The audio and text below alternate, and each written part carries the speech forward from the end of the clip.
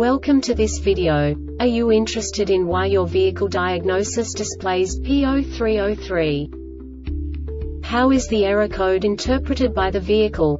What does P0303 mean, or how to correct this fault? Today we will find answers to these questions together. Let's do this.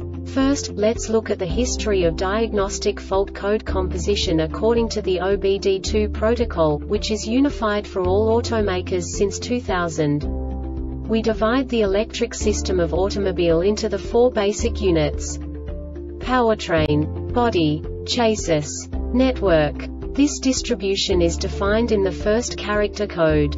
If the second character is expressed as zero, it is a standardized error. In the case of numbers 1, 2, 3 it is a more prestigious expression of the car-specific error. The third character specifies a subset of errors. The distribution shown is valid only for the standardized DTC code. Only the last two characters define the specific fault of the group. Let's not forget that such a division is valid only if the other character code is expressed by the number 0.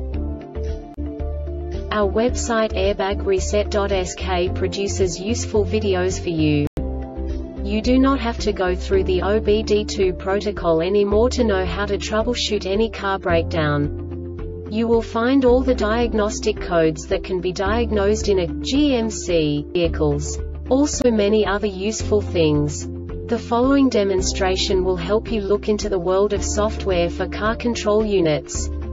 You unbelievably can move the video a bit further. The error code is split into two bytes consisting of 16 bits. One bit is the basic unit that each computer works with. The bit has two logical states. 0, low level, 1, high level. By combining the first two bits, the basic character of the error code is expressed. The next two beats again determine the second character. The last beat styles of the first byte define the third character of the code. The second byte is composed of a combination of 8 bits. The first 4 bits determine the fourth character of the code. And the combination of the last 4 bits defines the fifth character. A single byte conceals 256 possible combinations.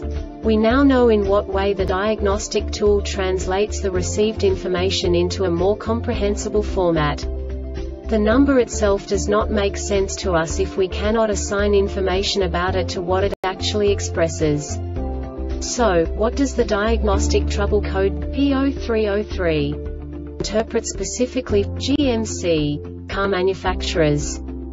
The basic definition is device voltage reference output circuit low.